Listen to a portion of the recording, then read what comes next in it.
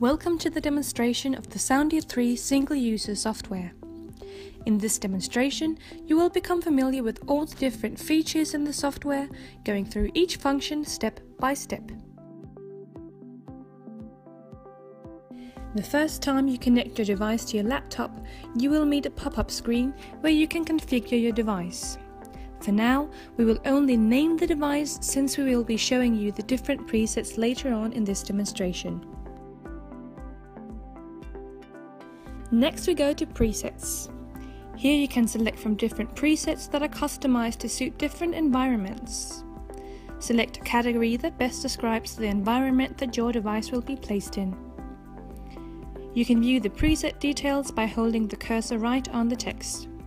When you place the cursor right on the text, you will see the actual alarm level for this setting, type of measurement, and reaction time, which we will talk about later on. In Define Settings, you have the option to make individual settings if needed. In the first tab called Light Day, you can change the light settings during daytime. There is a cursor for the green, the yellow and the red light. In this example, I want the green light to be lit all the time and I do this by dragging the green cursor to the minimum, which is 20 decibel. Next, I set the yellow light alarm. I want the yellow light to activate when the noise exceeds 50 decibel so I drag the yellow cursor up to 50. Finally, I will set the red light alarm. I want the red light to activate when the noise level reaches 80 decibel, so I drag the cursor to 80. In the bottom left corner of the screen, we can regulate the reaction time. Reaction time refers to the red light alarm.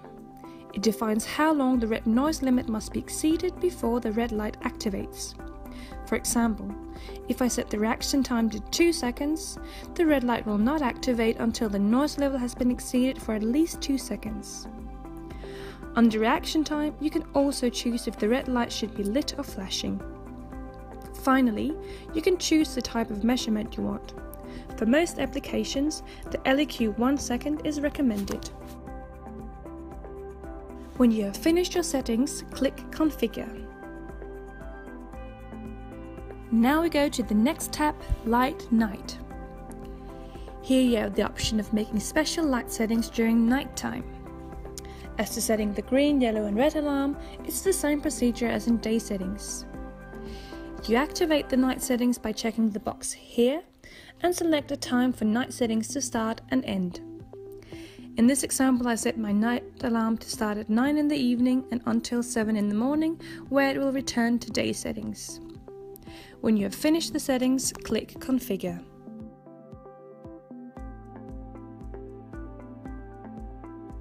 In the next tab called Display, you can decide what data you want to show on the mini display on your SoundEar device.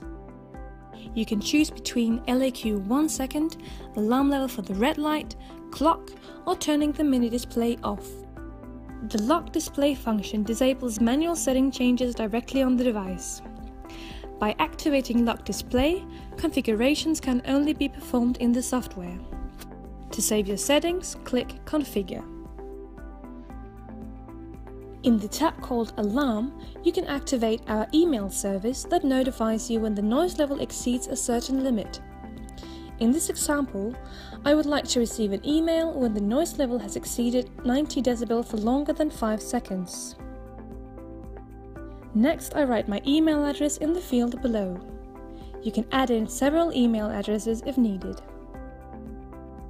If you want to see the alarm level in live measurements, check the box Show on Live Measurement and the alarm level will be shown as seen here in live measurements.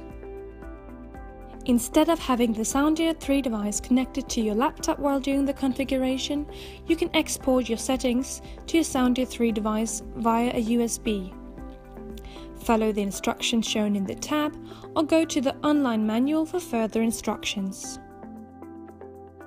In live measurements, you can see the real-time measurement if the SoundEar 3 is connected to the computer. The background shows your light settings on your SoundEar 3 device. You can zoom in and out by placing the cursor on the chart and draw it to the right. In the tab summary, you will find the percentage allocation of the measurement in the different colors. In chart statistic, you see the LAeq total, which is the LAeq value for the whole period you are monitoring on the chart. Below, you will find the number of peaks 105, 110, 115, 120 decibel, and the peak max. In Show and Chart, you can choose between LC Peak Max, LAF Max, and the LAX Max.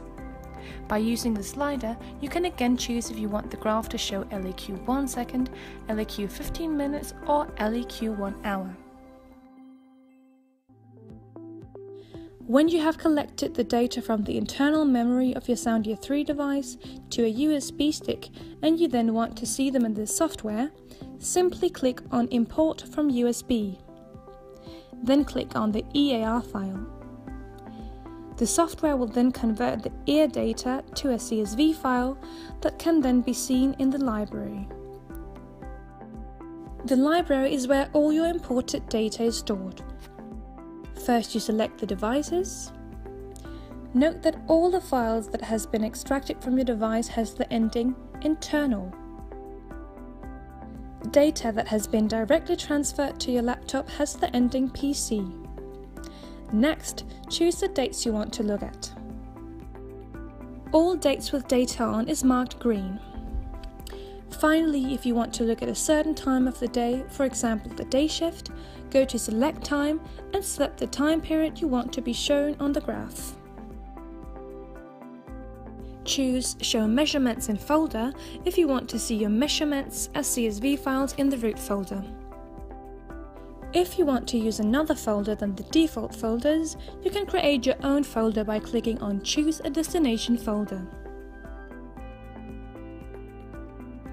In Device Info under Setup, you can see the device ID and the name and location of the device.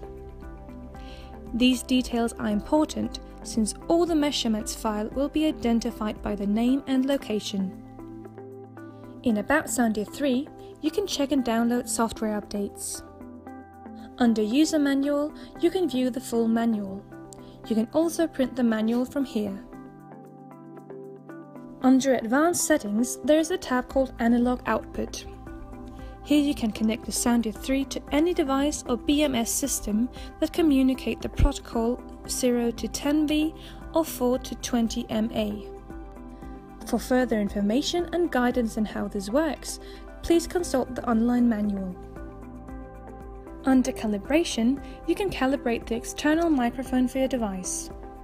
Use the small extension cable that comes with the SoundEar 3 and Type 1 or Type 2 calibrator. Just follow the easy three steps on the screen. If you want more information or want to watch other demo videos, please go to soundear.com or write us an email on soundear at soundear.com.